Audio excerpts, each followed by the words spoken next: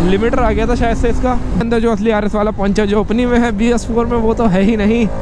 है guys welcome back to Preet vlog आज मेरे पास है कि बजाज की Pulsar R S two hundred B S six phase two जिसको काफ़ी लोग बी एस सेवन भी बोल रहे हैं। भाई, सबसे पहले फ़ेज़ टू की पहचान तो यही है गेयर पोजिशन इंडिकेटर और आज इस बाइक को राइड करेंगे भाई, आप लोगों की डिमांड आई थी मेरे पास कि भाई B S six phase two का, भाई प्रीत भाई राइड रिव्यू बनाओ। भाई, शीशे कैसी साइड दिखाते होंगे? कैसे अजीब से विचित्र से शीशे हैं?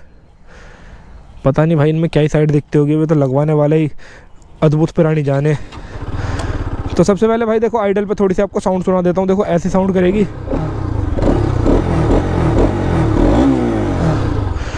तो साउंड कुछ ऐसी रहने वाली है, चलते हैं, चलाते हैं। दो डंडे इसमें पेट्रोल है, नब्बे किलोमीटर की रेंज दिखा रही है। कितने हिल रहे हैं शीशे? थोड़ी रोड भी ऐसी सी है।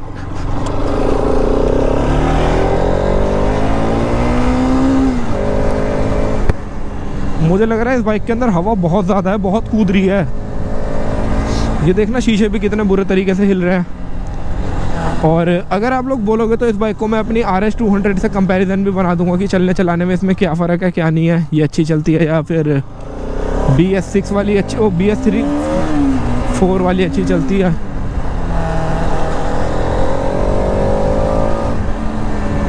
इस बाइक के अंदर मैं जैसे एक चीज़ तो फील कर पा रहा हूँ, जैसे पुरानी अपने पास बी एस सिक्स वाली आर एस थी ना, उसमें और इसमें थोड़ी सी उसके आगे स्मूथ फील हो रही है। हल्की सी फील हो रही है, कोई बहुत ज़्यादा नहीं, उन्नीस बीस का फ़र्क कितना, बहुत छोटा सा नोटिसेबल डिफरेंस है। भैया, ज़रा पहले अपना फ़ोन रख लूँ जेब में।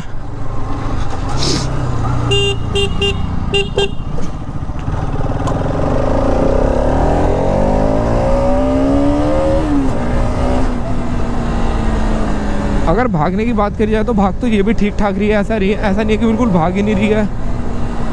पुल अच्छा दिखा रही है। जैसे थर्ड गियर पे पुल कर रहा हूँ तो पावर बैंड इसका भी मुझे अभी बताऊँगा आपको, आगे ऊपर मेन रोड पे बताऊँगा कितने आर कितने हज़ार आरपीएम पर मुझे सही पावर बैंड का मतलब एक फील हो रहा है, कितने हज़ार आर पे ऐसा लग रहा है कि हाँ भाई आर वाला जो पंच है वो इसके अंदर आ रहा है। खैर, इसके अंदर जो असली आर वाला पंच है, जो अपनी में है बी में वो तो है ही नहीं। ये क्लोज टू 7000 आरपीएम या फिर 7000 आरपीएम प्लस उससे ऊपर, तब अच्छा पावर फील करवा रही है।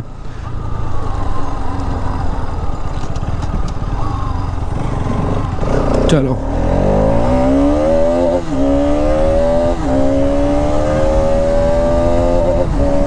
एक तो इसमें साढ़े दस हज़ार आर पी एम पे लिमिटर आने की बीमारी।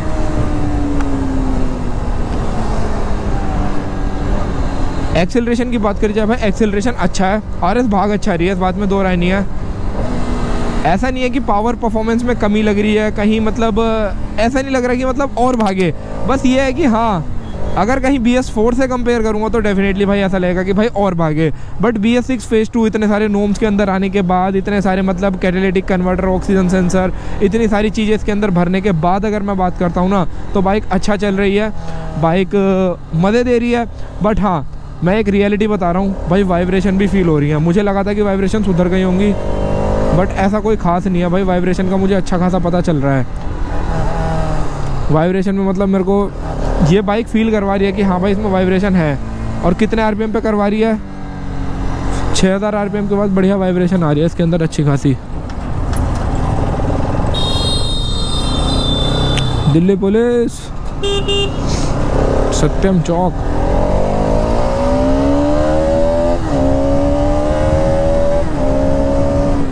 इसमें कोई क्विक शिफ्टर नहीं आता। कभी आप लोग ये समझो कि भाई क्विक शिफ्टर आप क्लच लेस कैसे कर रहे हो? ये आपके भाई को आता है, ये इनबिल्ट वाला क्विक शिफ्टर होता है ये। गेयर बॉक्स बहुत अच्छा है बाइक का मतलब गियर बॉक्स इतना सही फील हो रहा है मतलब कि गेयर शिफ्टिंग में आपको मज़ा आएगा। एकदम स्मूथ गेयर लगने वाले हैं। ब्रेकिंग ठीक है यार ब्रेकिंग मतलब ऐसा जितनी कोई बहुत अच्छी नहीं है, बहुत बेकार नहीं है, ठीक है ब्रेकिंग में कोई कमी नहीं है। बट ये है कि भाई आपको एक सर्टेन आरपीएम पे आने के बाद ये पावर देगी। और जो इसकी आवाज़ है, उसमें और मेरी वाली में बहुत फ़र्क है।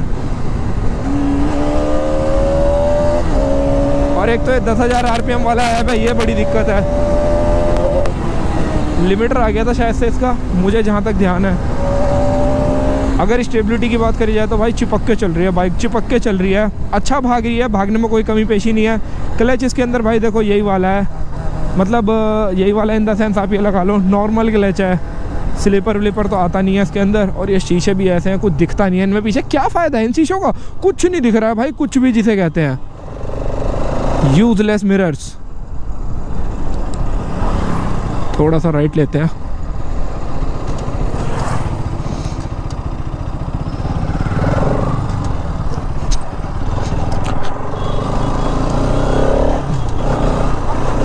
एक चीज़ है, जैसे मैं इस बाइक को चला रहा हूँ ना, ये थोड़ा भी न्यू भी बाइक है, इस वजह से भी थोड़ा जैसे बंधी बंधी फील हो रही है।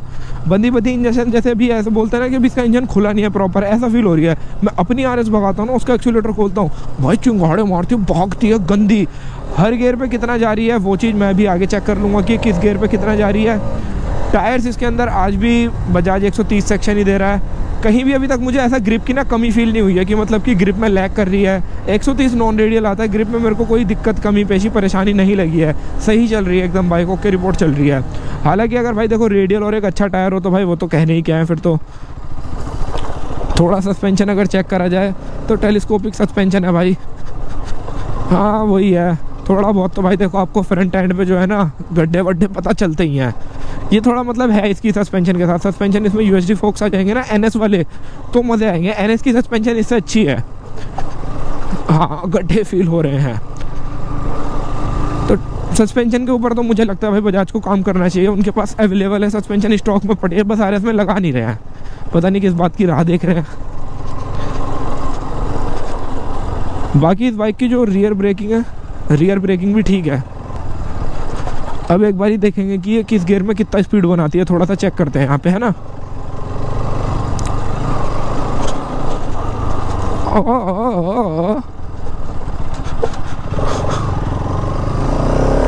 Gear number one forty eight sixty five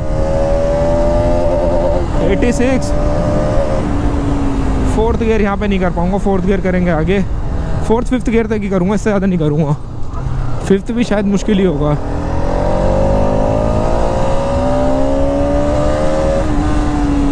जो इसका असली पावर बैंड स्टार्ट हो रहा है ना, वो 8000 हज़ार के आसपास हो रहा है। मैंने 7000 बोल दिया सॉरी साथ नहीं 8000 हज़ार बोलना ठीक होगा। साथ से आपको हल्का फील होना शुरू हो जाएगा कि हम भागना स्टार्ट कर रही है, पर वो करेगी कब? जब 8000 पे पहुँच लेगी। उससे नीचे तो भाई नॉर्मल पावर लग रही है। चलो मैं एक लिटिल सा लॉन्च करूँ यहाँ पे।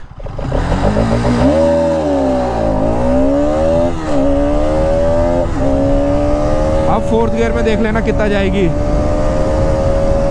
गो गो गो गो गो गो गो आ गया था लिमिटर शायद से 103 104 गई थी। रोड अच्छी नहीं है यहाँ पे। तो मतलब वही जो भी गई थी 100 103 104 तो ऐसा कुछ भाई इसका पावर बैंड है और इस तरीके से भाई लिमिटर हिट करता है इसका, ठीक है?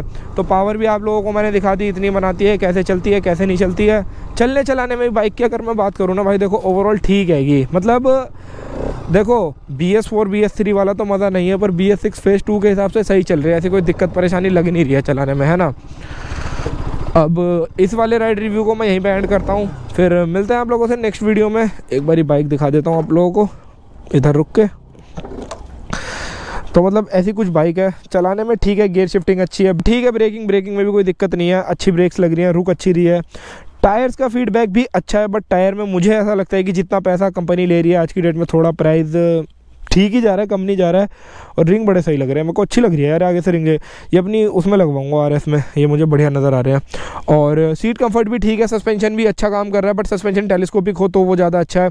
और उसके अलावा ओवरऑल सबसे इंपॉर्टेंट चीज़ की क्या आपको आज की डेट में इसको लेना चाहिए या नहीं लेना चाहिए? अगर आप लोग प्लान कर रहे हैं या फिर अगर आपने बजट बनाया तो मैं पर्सनली बोलूँगा, अगर आपको लगता है कि हाँ भाई आपको आर ही पसंद है फ़ैन बॉय हो ले लो, थोड़ा देख के रखना डेलीगेट है, हर किसी के हाथ में ज़्यादा मत देना, वरना भाई खर्चे खुर्चे आ जाते हैं इसमें मोटे से, और थोड़ा आराम से चलाना तो ठीक ही रहेगी, ठीक है?